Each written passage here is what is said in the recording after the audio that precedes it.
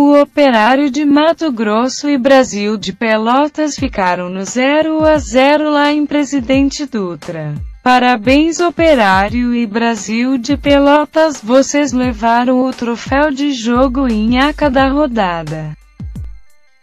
Confira alguns lances do jogo.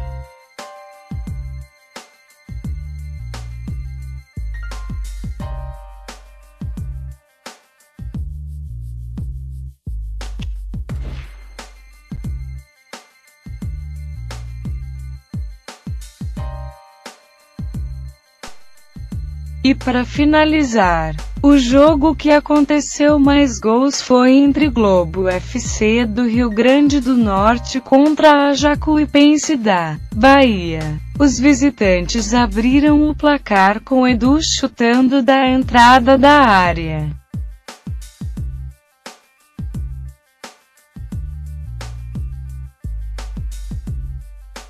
O time baiano fez o segundo com Flávio cobrando pênalti. O gol do time potiguar foi uma pintura. Depois da bela troca de passes e a bola lançada na área, o jogador Indy Oliveira fez este golaço de voleio. Parabéns Indy Oliveira. Você levou o troféu de gol mais bonito da rodada.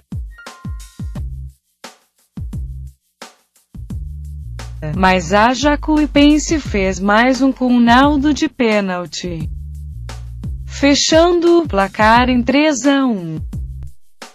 Bom, esses foram os jogos de ida das oitavas de final da Série D 2014. Os jogos de volta foram realizados neste sábado dia 4, com exceção do jogo entre Moto Clube e Ituano que aconteceu na sexta-feira.